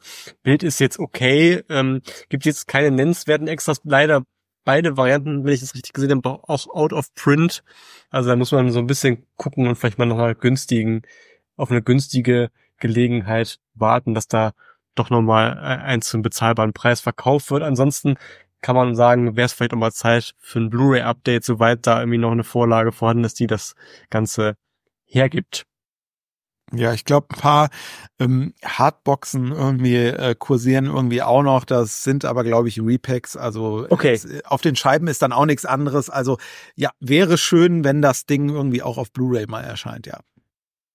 Gut, ja, so viel zu Perak und dann kommen wir doch mal jetzt zu dem äh, angekündigten, etwas ausführlicheren Nachklapp nochmal zu Derek. Ähm, wir haben es hier und da schon erwähnt, die unfassbar erfolgreiche Serie mit Horst Tappert. 281 Folgen, haben wir glaube ich noch nicht gesagt, gab es in der Phase zwischen eben 74 und 98. Das, die Serie hatte teilweise über 30 Millionen Fernsehzuschauer, heute undenkbar, allenfalls noch bei einem WM-Finale mit deutscher Beteiligung machbar in heutigen Zeiten. Und ähm, selbst am Ende hatte man noch rund 10 Millionen im Schnitt. Ähm, und was das ja wirklich auch besonders, besonders macht, und auch das kann man sich eigentlich nicht mehr wirklich vorstellen, dass das so ein unfassbarer Exportschlager war. Ne? Ähm, man liest es immer wieder, ähm, auch viel zitiert. Man hat die Serie wirklich in, in über 100 Länder verkauft, also wirklich kaum zu glauben. Und es gab auch Fanclubs international, vor allem auch in den Niederlanden.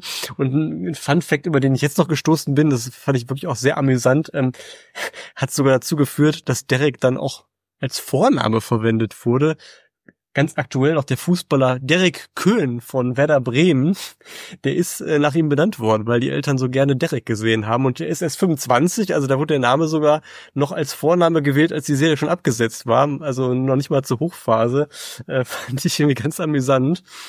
Und ähm, ja, es gab natürlich auch diverse Publikationen äh, über dieses äh, Phänomen. Und auch da fällt irgendwie so ein, so ein Name ins Auge Umberto Eco ist ja jetzt auch äh, schriftstellerisch international kein unbeschriebenes Blatt und der hat sich auch äh, Derek mal äh, zugewandt und ein Buch geschrieben, Derek oder die Le Leidenschaft für das Mittelmaß, wo man mal so ein bisschen auch aufgeschlüsselt hat, warum seines Erachtens Derek so erfolgreich ist. Ähm, und ja, was war inhaltlich so ein bisschen das Besondere? Man hat am Anfang Geschichten so im Columbo-Stil erzählt. Das heißt, man hat quasi dem Zuschauer von Anfang an gezeigt, wer ist der Täter. Das war damals auch im deutschen Krimi gar nicht so selten. Also auch die Haferkamp-Tatorte, die ja damals auch sehr erfolgreich waren mit Hans-Jörg Felmi, die haben damals auch oft nach diesem Prinzip funktioniert. Und bei Derek hat man es auch versucht, kam wohl nicht so gut an, deswegen ist man dann relativ schnell wieder so zum klassischen Whodunit-Schema übergegangen, was man jetzt aus der Reinecker Schmiede jetzt vom Kommissar ja auch so kannte. Ähm, aber nochmal kurz vielleicht zu Columbo. Eine weitere Parallele ist ja, dass er, also Derek, eben so wie Columbo, also bei Columbo ist er wirklich ausschließlich gewesen, wenn ich mich jetzt nicht ganz täusche. Bei Derek war es fast ausschließlich, möchte ich mal sagen. Jedenfalls zu so dem Klischee, dem Stereotyp nach, hat er ja auch gerne so in der Oberschicht ähm, ermittelt. Ja, und ich kann ja schon mal äh, vielleicht vorwegnehmen, weil du jetzt auch äh, so diesen Stil der ersten Derek-Folgen angesprochen hast. Mir gefallen die eigentlich am besten. Also diese frühen äh, Folgen äh, sind meiner Ansicht nach gleich zu Beginn äh, tolle Highlights dabei. Und die sind eben auch filmisch äh, oft noch sehr interessant. Also da gibt's so äh, verspielte Kameraauflösungen. Ähm, das ging, finde ich, später so vollkommen ähm, verloren. Und ich konnte mit den späteren Dereks dann eher weniger anfangen und finde das auch so ein bisschen schade, dass man natürlich, wenn man dann heute irgendwie äh, mal einen Artikel liest, wo äh, so der Derek-Stil beschrieben wird, rückblickend, dann meint das natürlich vor allem auch so Derek der 80er, 90er Jahre, ja. ne? Und ähm, oft findet man dann in Besprechungen nicht mehr so äh, den Detailblick dafür, wie ist das auch mal am Anfang gewesen. Aber klar, beim Publikum, das muss man auch sagen, kam es erstmal äh, nicht an. Also äh, Derek wurde erstmal in Grund und Boden äh, geschrieben und der Erfolg äh, kam dann erst nach und nach. Ja, also ich würde auch sagen, das so grob gesagt, so die ersten 30 Folgen, das waren auch schon so die ersten, nachdem man es umgestellt hat, aber so die früh, trotzdem die Frühphase, die sind äh, im Schnitt äh, absolut am atmosphärisch, am atmosphärisch dichtesten. Und eben, weil man da auch noch diese Folgen drin hat, die so diesen Columbus-Stil sind, sind sie dann auch von der Erzählstruktur noch nicht so ganz so homogen, ne, und so, ähm, ja, wiederholend und redundant. Und ähm, tendenziell würde ich sagen, ich habe jetzt auch nicht alle 281 Folgen äh, gesehen, muss ich zu meiner Schande gestehen, aber so doch so knapp die Hälfte, ähm, dass die Qualität so in der Tendenz zunehmend abnimmt ähm, und man trotzdem auch nach den Anfangsjahren immer mal so ein Highlight findet, aber die Dichte der Highlights, die nimmt auf jeden Fall aus meiner Sicht auch spürbar ab.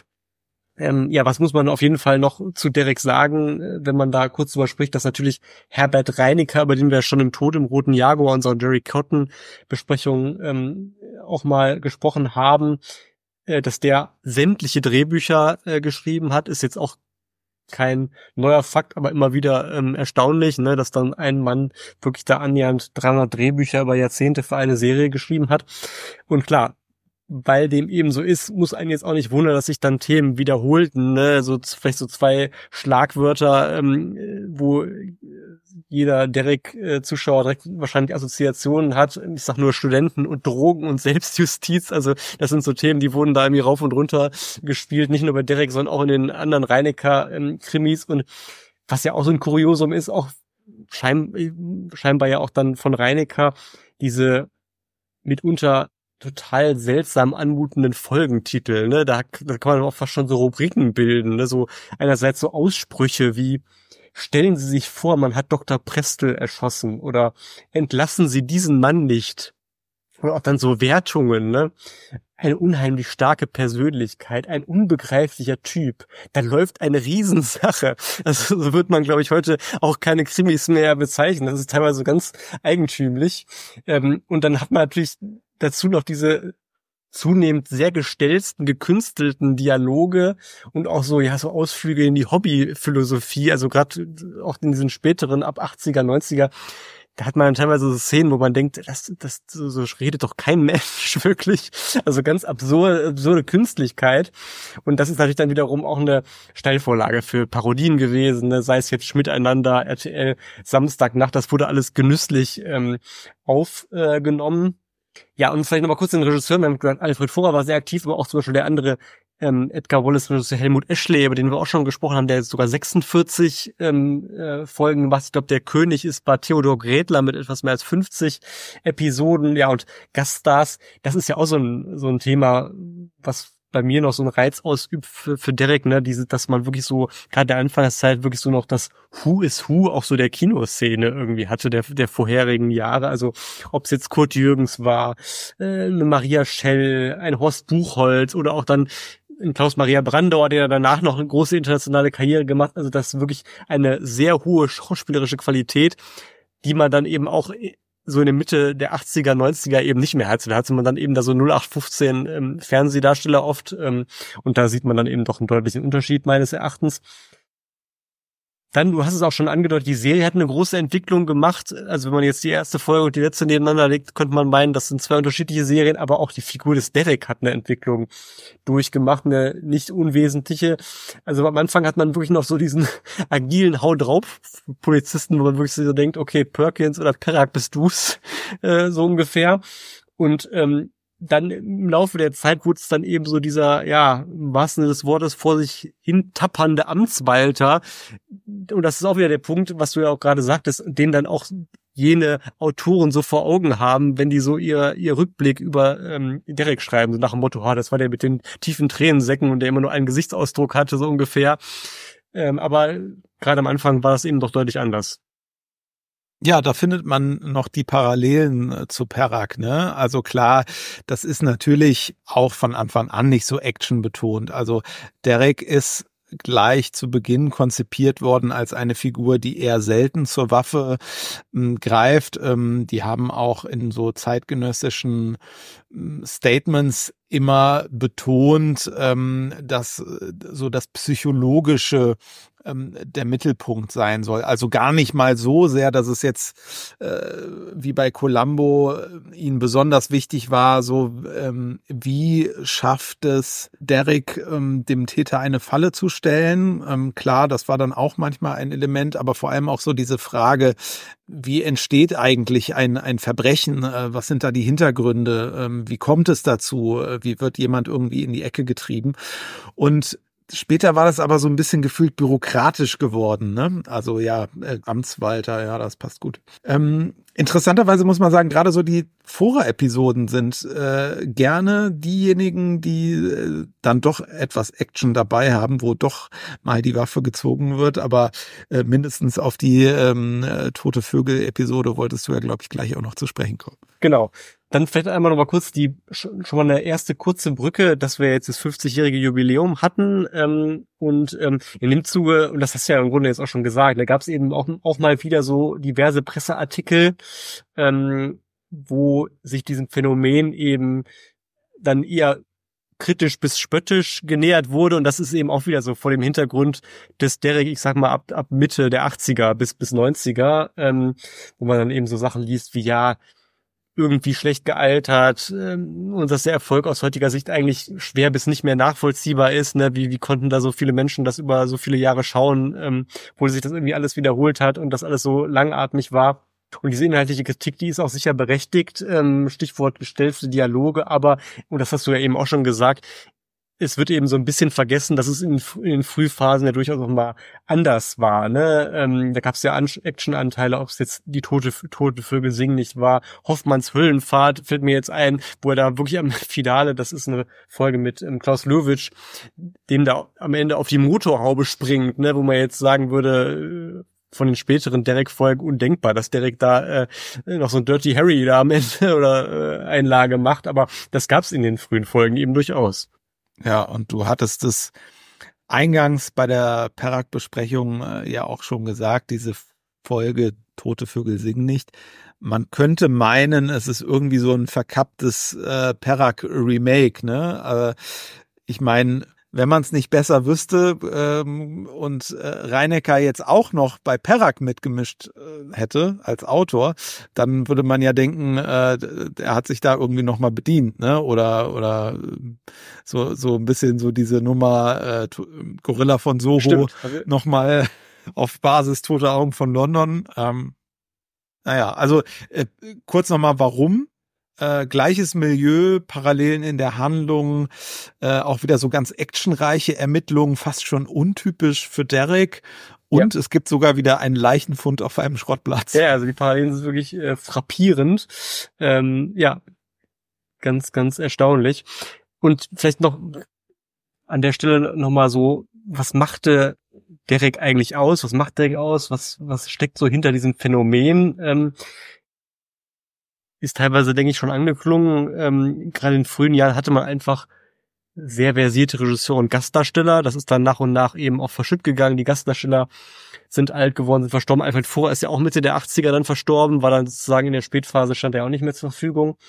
Und dann muss man eben sagen, und das kommt auch mal wieder durch, dass Derek eben so eine sehr große Verlässlichkeit ausstrahlt. Und der wird dann ja auch mit der Zeit immer mehr zu so einem moralischen Übervater irgendwo.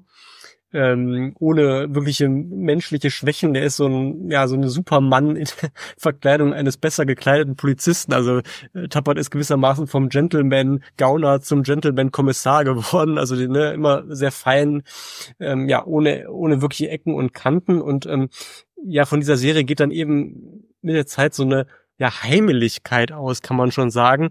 Und das merkt man auch ganz deutlich, wenn man sich so Presseartikel anschaut, die so anlässlich des Endes der Serie so veröffentlicht wurden, wo sich eben auch nochmal genähert wurde, mein Gott, ja, was haben wir uns da jetzt eigentlich 25 Jahre lang gut angeguckt, ne? Und da hat zum Beispiel der Spiegel damals geschrieben, äh, 97, Und so wurde die zuverlässigste aller Serien im Laufe der Jahre zu einer Art Urort, so langweilig und so vertraut wie Großmutters Wohnzimmer, dass man aufsucht, nicht um etwas zu erleben, sondern um sich zu Hause zu fühlen. Oder ähm, die Berliner Morgenpost, auch ein ganz nettes Bild. Wenn das Fernsehen das Lagerfeuer des 20. Jahrhunderts ist, ist Stefan Derek der Indianer darin. Ja, und zu dieser Vertrautheit gehören ja auch letztlich so Gastdarsteller, die man wirklich als Wiederholungstäter äh, bezeichnen kann. Also ich habe jetzt, ist jetzt keine Rangliste, äh, die jetzt ähm, die Wirklichkeit abbildet. Es gibt sicherlich auch noch andere Darsteller, die auch sehr, sehr oft waren, aber ich habe einfach mal so geguckt, so ein paar Darsteller, die mir so spontan einfielen, wo ich dachte, mein Gott, das, die sind direkt durch und durch. Und da haben wir zum Beispiel ganz vorne Dirk Galuba, ich glaube, der ist wirklich an der Spitze, der hat 22 Derek-Auftritte, also wirklich Wahnsinn. Aber da gibt's natürlich auch noch so Leute wie ähm, Peter Fricke, Udo Vioff, Christiane Krüger, Christine Wodetzky, die auch mindestens sieben bis acht Mal ähm, dabei waren und eben auch ähm, mit mit diesen dieser Art Krimis absolut in Verbindung stehen und dann eben auch so eine äh, Vertrautheit dem Zuschauer vermitteln.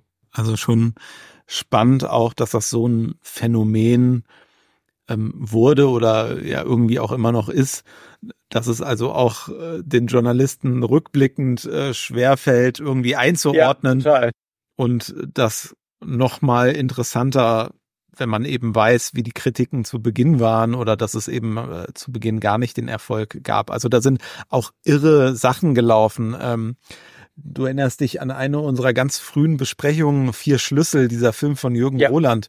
Ich äh, weiß jetzt aus dem Kopf gerade nicht, bin mir nicht mehr sicher mit dem Namen des Autoren, der da die Vorlage für diesen Stoff lieferte. Jedenfalls dieser Autor hat irgendwie in der Hör zu öffentlich dann irgendwie äh, seine Nachbesserungen, die er empfehlen würde, an, an der Derek-Serie ähm, ähm, dargelegt. Und das ZDF hat auch irgendwann Nachbesserungen versprochen und hat gesagt, ja, wir gehen da noch mal ran. Also das war ein äh, riesen öffentliche, eine riesige öffentliche Diskussion, ähm, weil das fand ja alles auf diesem berühmten ZDF-Krimi-Sendeplatz. Äh, ich glaube, es war für diesen Freitagskrimi ja. geplant. Dann lief es irgendwie auch zwischenzeitlich am Anfang, glaube ich, mal auf einem anderen Platz. Aber grundsätzlich äh, war das schon für diesen äh, Freitagsslot geplant dann. Ne?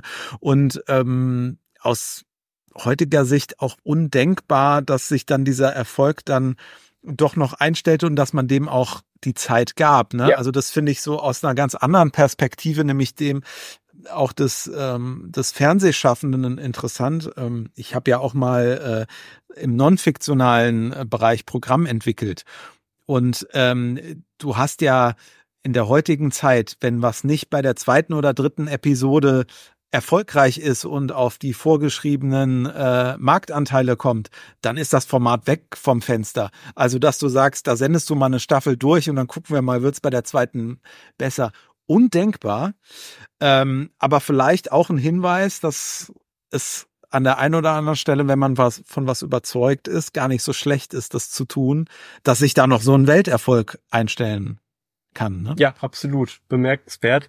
Und äh, ja, wir hatten ja auch, glaube ich, schon gesagt, wir wollten nochmal am Ende so ein paar Folgen herausgreifen, die uns besonders gut in Erinnerung sind. Zwei Titel haben wir jetzt schon häufiger genannt. Äh, da äh, brauche ich nichts mehr Näheres zu sagen. Hoffmanns Höllenfahrt und Tote Vögel singen nicht, gehören zu meinen äh, Favoriten, aber zu den weiteren, da bin ich jetzt jetzt auch kürzlich nochmal drüber gestolpert, ähm, hatte sie jetzt gar nicht so gut in Erinnerung, aber ja, das super Ding ist wirklich ein super Ding, muss ich sagen. Ähm, das ist die Folge 26 mit äh, Gaststar Horst Buchholz und der spielt ähm, einen abgedrehten äh, Ex-Lehrer und jetzigen Barbesitzer und das ist so ein Mix aus Mordgeschichte und Heiß-Thriller, aber ja, total äh, unterhaltsam, kurzweilig und eben auch ja, so ein bisschen atypisch konstruiert, ist mir äh, sehr positiv aufgefallen jetzt wieder. Und dann eine Folge, die so ein bisschen später entstanden ist, äh, Tod im See, das war schon die 88. Folge mit ähm, Robert Atzorn und äh, Christiane Krüger, ja, dieser Wiederholungstäterin sozusagen.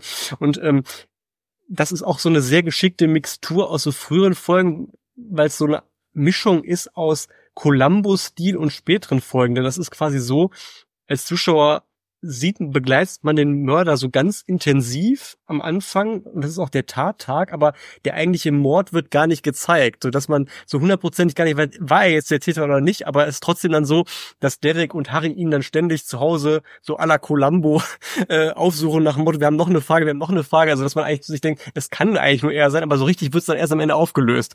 Und das finde ich so eine ganz interessante Konstruktion, deswegen ist mir die Folge auch noch so sehr positiv ähm, in Erinnerung. Ja, die nehme ich gerne für mich auch auf, äh, die Tipps. Nämlich mein äh, Derek-Wissen wird dann von Folge zu Folge lückenhafter. Ich habe ja schon gesagt, meine persönlichen Highlights liegen eher am Anfang. Äh, ich habe aber auch nicht so viel jetzt wirklich chronologisch äh, durchgesehen. Aber so erste, zweite Staffel, da kenne ich mich ganz gut aus. Dann würde ich noch mal so als Anspieltipp äh, mitgeben. Gleich die erste Folge Waldweg, eine super unheimliche Folge, geht heute auch noch durch Mark und Bein mit Wolfgang Kieling als mordendem Lehrer. Ähm, es ist ja kein Whodunit, deswegen kann ich es ja auch so äh, klar sagen. Ganz toll inszeniert auch an unheimlichen Orten.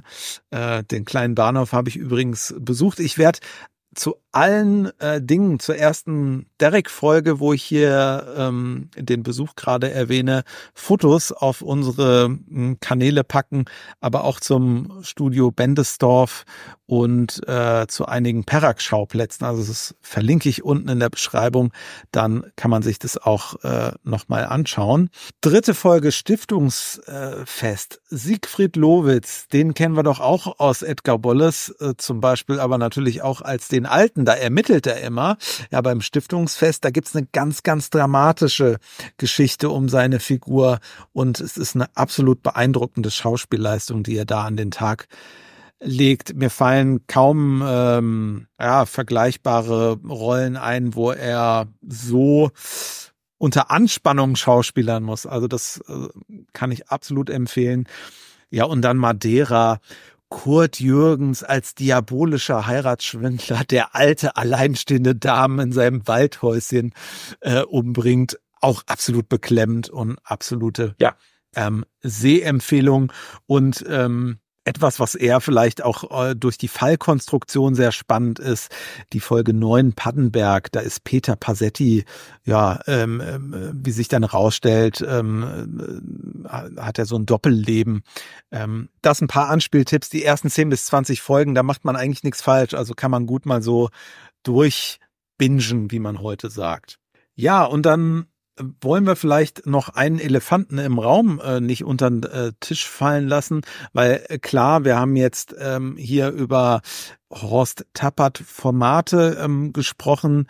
Ähm, nach Tapperts Tod wurde ja 2013 so eine NS-Vergangenheit bei ihm bekannt. Äh, ein Soziologe entdeckte während Recherchen Unterlagen ähm, und ähm, demnach war er ähm, zumindest ähm, ab 1942 Mitglied der SS-Division ähm, Totenkopf. Das ist bei den Nazis so ein ja, schon Vorzeige- und Eliteverband. Tappert war 19 Jahre alt, ne, bekleidete da den untersten Rang und er konnte natürlich ähm, 2013 dann also auch nicht mehr dazu befragt werden. Da war er schon verstorben. Also zum Beispiel, ob er sich da freiwillig gemeldet hatte oder ob er irgendwie womöglich genötigt wurde. In zeitgenössischen Interviews vor seinem Tod gab es wenig konkrete Angaben zu seinen Tätigkeiten während des Krieges. Da hat er angegeben, er wäre Sanitäter gewesen, viel mehr weiß man nicht. Ähm, so, und ähm, als das eben 2013 rauskam, hat das ZDF dann erstmal gesagt, okay, wir sind überrascht und befremdet, ne, verständlicherweise. Ähm, da wird etwas bekannt von einem langjährigen äh, Star und dann hat man äh, gesagt, Derek, Ausstrahlung, äh, Wiederholung planen wir erstmal nicht. Zehn Jahre später, 20, 2023, gab es dann nochmal ein Statement vom ZDF. Ja, wir haben ja viele ehemals erfolgreiche Programme, die wir ebenso wie Derek nicht mehr wiederholen. Und da hat man gesagt, das hat doch mit den veränderten Sehgewohnheiten zu tun. Darüber würde ich gerne kurz sprechen. Denn also klar, dass man auf der einen Seite völlig verständlich erstmal hingeht und sich befremdet zeigt, wenn solch eine Entdeckung gemacht wird und man jetzt auch äh, sagt, okay, ab jetzt ist klar, äh, in Mainz müssen wir hier keine Horst Tappert-Statue äh, ähm, uns vor den Sender stellen. Haken hinter, aber diese ja, Statements, wo man das erst im Zusammenhang mit dieser Entdeckung dann äh, so argumentiert hat und dann zehn Jahre später spricht man irgendwie von Sehgewohnheit, währenddessen ja vom Kommissar und auch vom Alten äh, durchaus Folgen auch in der ZDF-Mediathek äh, zu finden sind, von Derek nicht. Die Folgen sind zwar auffindbar, gibt's auch auf DVD, aber da hat man eben nur die Lizenz äh, vergeben. Ansonsten versteckt man das schon sehr und Fritz Wepper hat ähm, vor seinem Tod gesagt, ein Stück Fernsehgeschichte, das Millionen mögen zu verdammen, weil die Geschichte eines Darstellers Fragen aufwirft, aufwirft halte ich für übertrieben und eine Bevormundung des Zuschauers. Ähm, und klar, äh, es ist nicht irgendein Darsteller, es ist der Star des Formats. Aber in der Tendenz sehe ich das auch so. Und ich denke, eine Serie, die einen so großen Stellenwert in der Fernsehgeschichte hat und wo äh, zusammengerechnet über diese hunderten Episoden wahrscheinlich Tausende vor und hinter der Kamera beschäftigt waren, äh, die so einfach in den Giftschrank, in den berüchtigten äh, zu packen, das ist doch ähm, schon relativ enttäuschend. Genau, ich finde es im Endeffekt auch ein, insgesamt einfach ein wenig souveränen Umgang äh, mit dem Thema umzugehen. Da gäbe es sicherlich ganz, ganz andere Möglichkeiten, das zu tun. Und was ich auch so ein bisschen seltsam finde, genau die von dir äh, ja auch genannte Begründung, veränderte Sehgewohnheiten auf der einen Seite und auf der anderen Seite gab es ja dieses Nostalgieformat Wiedersehen macht Freude mit Oliver Welke und Bastian Pastewka auch Ende letzten Jahres. Und da hat hat ja äh, Oliver Welke so zwischendurch dann doch äh, gesagt, ähm, man zeige jetzt keine, da wurde über Derek gesprochen, aber dann hat er gesagt so, ja, nee, wir zeigen jetzt auch ganz bewusst äh, keine Ausschnitte, weil, weil das man das beim Sender ja nicht mehr möchte. Also hat, hat man es dann ja so, äh, so zwischen den Zeilen dann doch eigentlich zugegeben, dass es diesen Hintergrund hat und das fand ich insofern besonders absurd, weil man kurz Minuten vorher längeren Einspieler gezeigt hat von einer völligen Vergessenheit geraten, äh, äh, völlig Vergessenheit geratene Comedy-Serie oder eines Comedy-Formats, wo es auch nur um Horst Tappert ging. Also der war sozusagen minutenlang auf dem Bildschirm ähm, und stand da ja auch im Mittelpunkt, aber gleichzeitig will man dann von Derek ja keine Sekunde zeigen. Also es scheint so, dass man da wirklich mit diesem Aushängeschild irgendwie ja nichts mehr zu tun hat und äh, nichts zu tun haben will und äh, da irgendwie gar nicht mehr in Verbindung äh, gebracht werden möchte. Und das ist äh, ja schon sehr eigenwilliger Umgang äh, eben mit, mit der eigenen Sendergeschichte ja auch. Ja, und ich denke gerade auch beim ZDF hat man ja alle Möglichkeiten, ähm, mit den redaktionellen Kompetenzen im Haus jetzt zu sagen, ähm, wir strahlen das vielleicht nochmal kommentiert aus, also meint, ähm, da gibt's vielleicht über die Nacht mal zum Jubiläum äh, Episoden und ja. man begleitet das mit einer Doku, äh, die einerseits von der Serie erzählt, aber auch kritische Töne anschlägt und dabei mal so das Thema ähm, NS-Vergangenheiten in der jungen BRD ähm, äh, thematisiert. Ne? Ich meine, das ist ja ein hochspannendes Thema, was ja, äh, wollen wir jetzt nicht zu weit führen, aber ähm, kurz angemerkt, ne, das betrifft ja auch den Autoren Herbert Reinecker, bei dem es jetzt nicht im Nachhinein äh, klar geworden ist, dass der ja auch in, in jungen Jahren ähm, beruflich Propaganda ähm, ähm, praktiziert hat, ne, weil, weil, weil er da, ähm, glaube äh, leitende Positionen ähm, bei, bei den Medien der Hitlerjugend hatte. Mm, wir haben heute über den Produzenten ähm, äh, Lugi Leitner gesprochen, wo später rauskam, er hat bei seiner Entnazifizierung gelogen, äh, bei Günter Grass ähm, war es so, dass er 2006 ähm, eine Mitgliedschaft bei der Waffen-SS äh, öffentlich gemacht hat. Also das ist ja ein Thema, ne? Aber das kann man dann eben auch behandeln. Aber es ist dann so das Beste, das nicht aufzuarbeiten und ähm, das gewissermaßen ja dann selber unter den Tisch äh, zu kehren und äh, ähm, gar nicht mehr darüber zu sprechen. Naja, also bei uns gab es auf jeden Fall 50 Jahre Derek, ein Jubiläum. Das war auch mit ein Anlass, dass wir Perak besprochen haben und äh, so haben wir dann auch über, ja, vielleicht die erfolgreichste deutsche Fernsehserie aller Zeiten, wenn man jetzt mal so Auslandsverkäufe auch mit betrachtet, ähm, beleuchtet. Ne? Also Derek ist ja sogar in Japan gelaufen, also wirklich ein absolutes Phänomen. Ja, und Japan ist äh, das perfekte Stichwort für unsere nächste Folge, die wir schon mal ankündigen äh, wollen.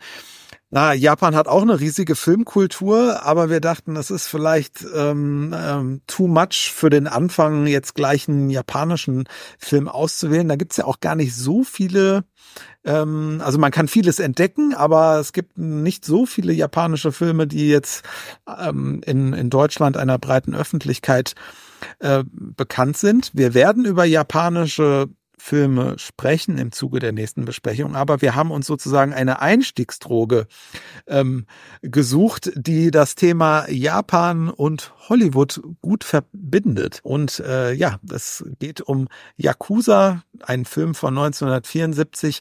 Vielleicht nicht jedem geläufig, aber wenn ich jetzt sage, von wem ist der Film und wer spielt mit, ähm, dann äh, sind wahrscheinlich alle wieder äh, mit dabei. Der Film ist von Sidney Pollack und ja, die Hauptrolle spielt Robert Mitchum. Ja, auch mal wieder so ein richtiger alter Haudegen, so aus dem alten Hollywood. Ne? Hatten wir auch noch gar nicht so häufig. Insofern, äh, ja, freue ich mich schon drauf. Dann äh, geht's das nächste Mal mit diesem Film weiter und bis dahin, ja, guckt noch die ein oder andere Derek-Folge. Ähm, paar Empfehlungen haben wir euch gegeben. Wir freuen uns euch bei Yakuza wieder zu begrüßen. Bis dahin. Macht's. Tschüss.